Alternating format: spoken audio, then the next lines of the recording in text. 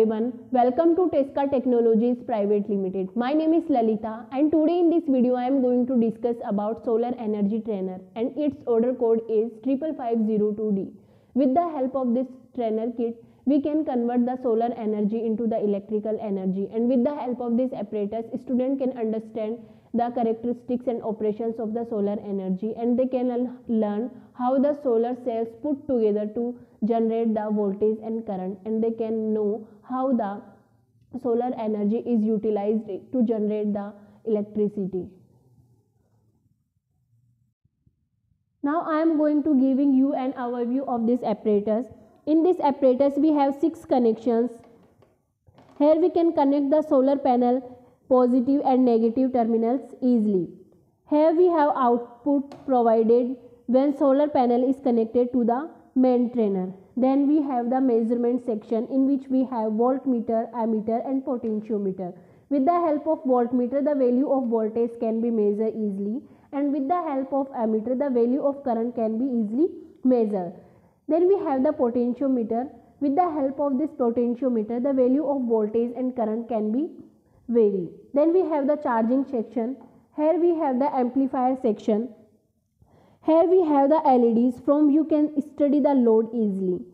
Then some appliances and applications which works on the principle of solar energy are also provided like lamp and fan. Then we have the FM receiver and we have an frequency selector. Then we have the volume controller through where we can control the value of FM now talking about the second part of this unit is having the maximum voltage of each solar cell is 2 volt and maximum current of each solar cell is above 150 milliampere in DC. This is the connector which is used to connect the solar panel to the main unit. This solar panel has an stand through which we can move the solar panel easily. You can see. Now all the solar cell will be work on the high efficiency when it is placed inside the sunlight.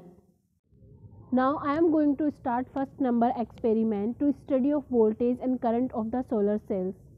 We will follow the procedure of this experiment according to the lab manual.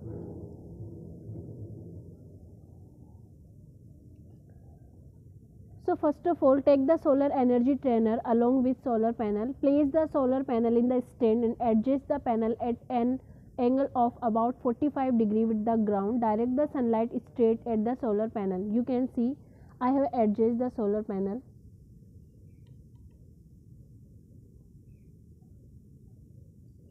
Now with the DB15 connector connect the solar energy trainer with the solar panel.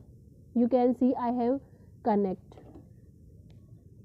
Now we will wait for 1 minute to avoid errors due to temperature fluctuation.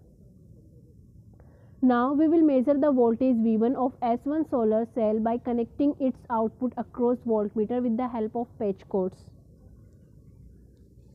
I will connect the positive of solar cell to the positive of voltmeter and negative of solar cell to the negative of voltmeter.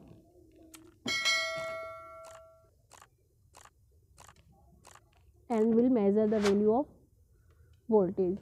You can see on the display the value of voltage is 2.34 volt. Similarly, we can check the value of voltage on S2 solar cell.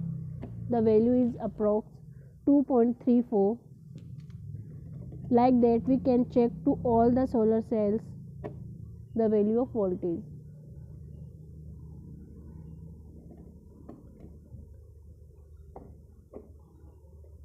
Here the value of voltage is approx 2.38 similarly we also can check the value of current.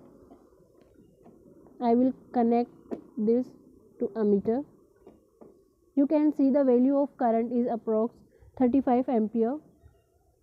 And I also can check the value of current to S2 cell it's approx 65 I will check on S3 it is approx 32 if I check on S4 it is approx 156 like that we can check to on all the cells it is approx 73 if I check here the value of current is approx 173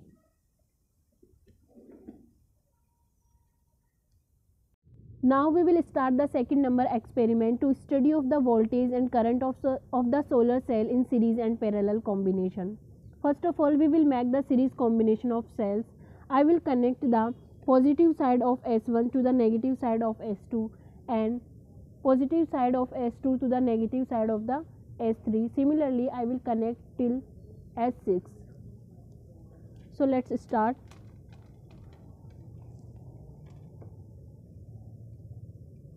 I will connect the positive side of this S1 to positive of voltmeter and then I will connect negative of S1 to positive of S2.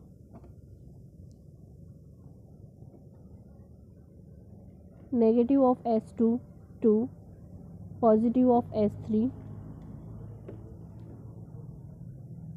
Negative of S3 to positive of S4 and then negative of S4 to positive of S5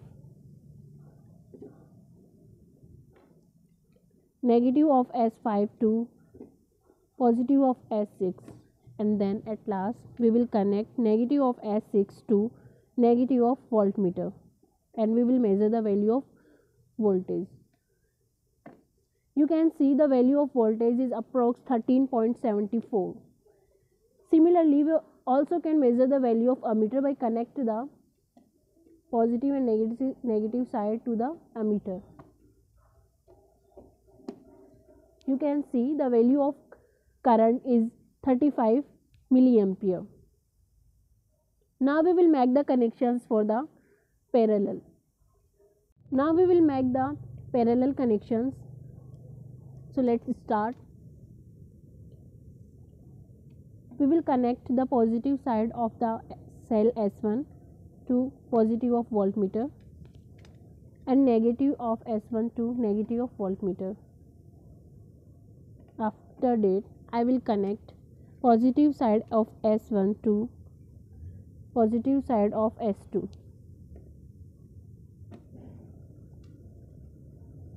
and negative side of S1 to negative side of S2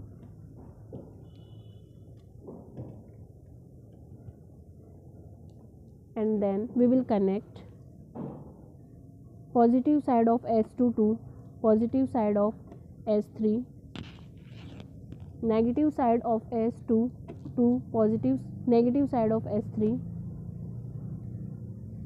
and positive side of S3 to positive side of S4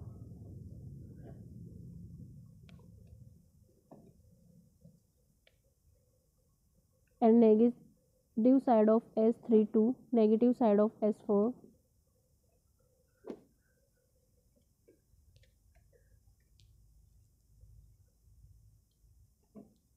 positive side of S4 to positive side of S5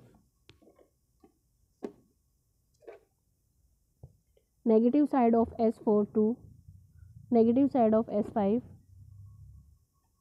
and at last positive side of S5 to positive side of S6 and negative side of S5 to negative, negative side of S6. Here you can see on the display of voltmeter the value of voltage is approx 2.27. Similarly, we also can measure the value of current. I will connect this here.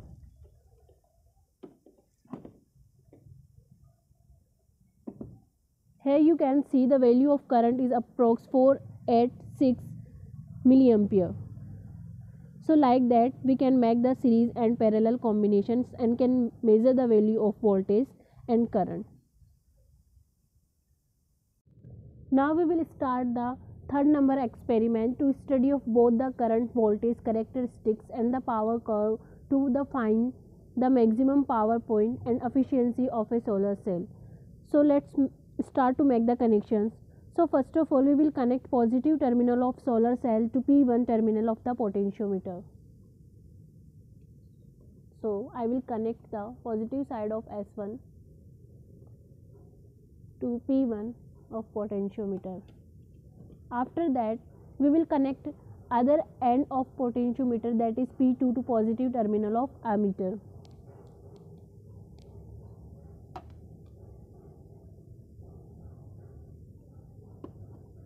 and then connect negative terminal of ammeter to negative terminal of solar cell.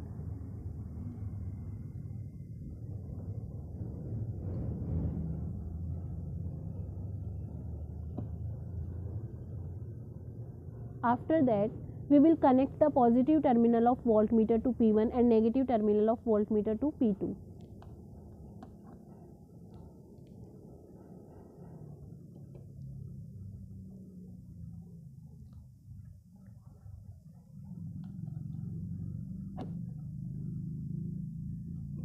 And now we will start to record the values of corresponding voltage and current into the observation table and gradually move the potentiometer in anti-clockwise direction so that the resistance of potentiometer decrease.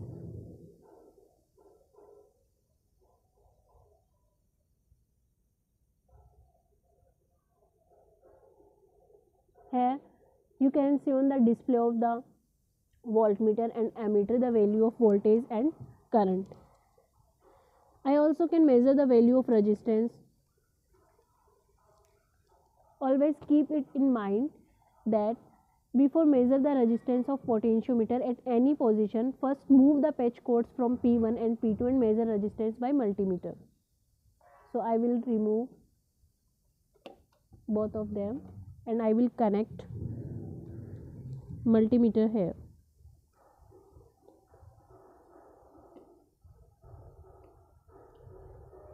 You can see on the display of multimeter the value of resistance is approx 0.49 and we will connect again the further measure, measure measurement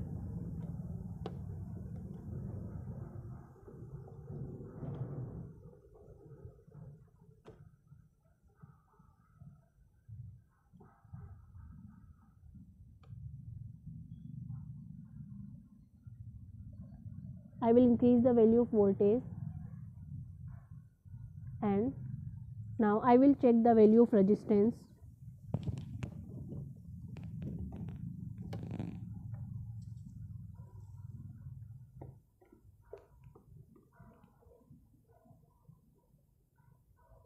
Here you can see on the display of voltmeter the value of resistance is approx 18.36 So like that you can measure the value of current voltage and resistance at different different points and can fill out this table which is given in the lab manuals. And we can plot the IV characteristics from the measurements recorded in the table to show how the photoelectric current depends on photoelectric voltage and to find maximum power point and we can make the IV characteristics like that and we also can make the power curve of the solar cell as a function of voltage which is given in the lab manuals you can see.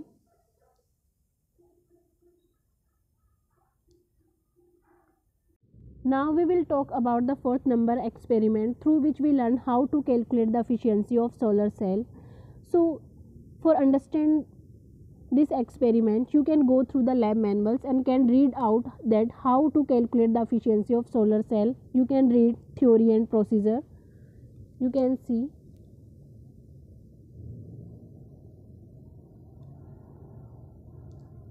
So by reading this experiment through lab manuals you can know how to calculate the efficiency of solar cell now we will start the next experiment to study of the applications of solar cell of charging the battery so that the loads can be used even while the module is unexposed to light.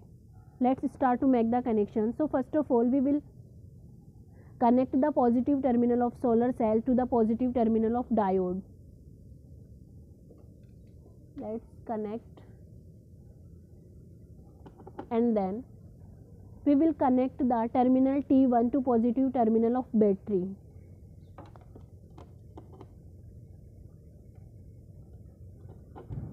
After that we will connect the voltmeter across battery terminals with patch cords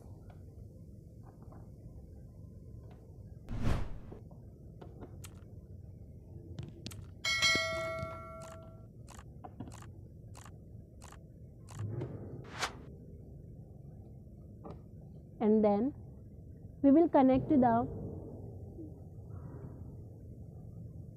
positive terminal of battery to terminal T2 of amplifier section.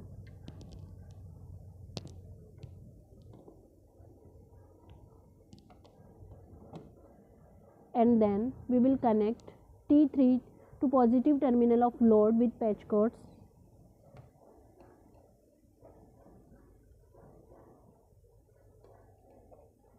And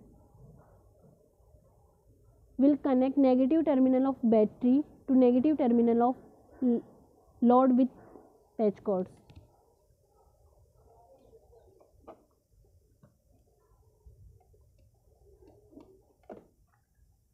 Now you can observe the group of LEDs glows. Here load is operating with the solar energy and battery is charging with the solar energy.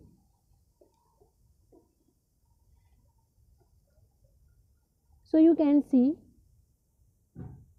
batteries is started to glowing and you also can see on the display of voltmeter as I connect to the load the value of voltage is decreased.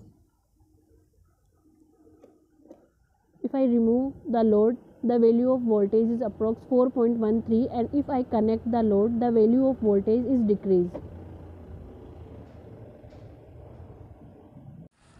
Now we start the next experiment to study of the applications of solar cells of providing electrical energy to the domestic appliances such as lamp, fan and radio.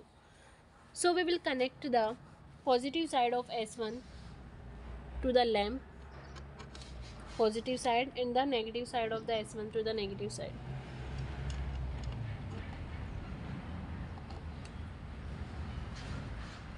And you can see the lamp is glowing. Like that we also can check that fan is working or not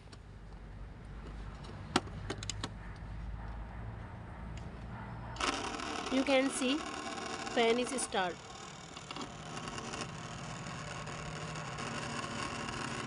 we will check for FM receiver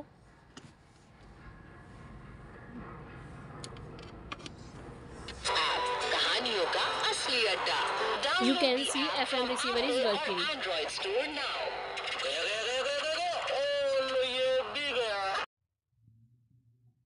So that's all the demonstration which is given by me. If you have any query related to this apparatus, you can go through the link which is given in the descriptions.